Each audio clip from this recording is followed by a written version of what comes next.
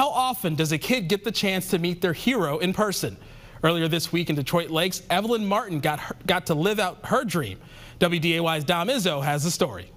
Each year, Detroit Lakes middle school teacher Julie Berntson has an assignment for her class to write an essay on three people you'd invite to dinner. One of her students, Evelyn Martin, had a unique response. NDSU standout guard Heaven Hamling was on her list. What are the chances that maybe Heaven would like write us a letter back? That hmm. was kind of my goal. And sure enough, I put it on Twitter. Heaven messaged me right away and was like, I want to talk to this girl. Hamling did one step better than a letter. She arranged a trip to meet Evelyn in person. Hi.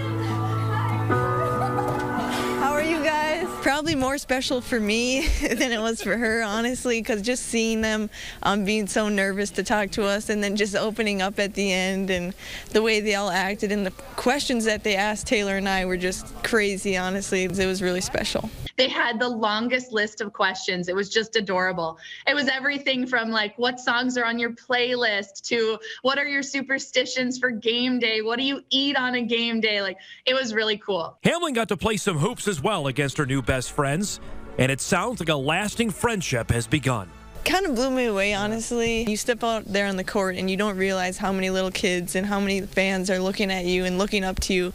Um, so it really puts a different perspective like in your eyes. Evelyn literally watches her games like it's film and she breaks it down and she tries to do those plays in her seventh grade basketball tournament. And for one Minnesota girl to be looking up to another Minnesota girl who made it to D1 it was just a really cool story and turned into something way bigger than I ever thought it could. Evelyn and about 20 of her teammates were Heaven's guests at the Bison South Dakota State game yesterday at the SHAC. And what a good story there from Dom. Thanks Absolutely. so much. Absolutely, for sure. Thanks so much.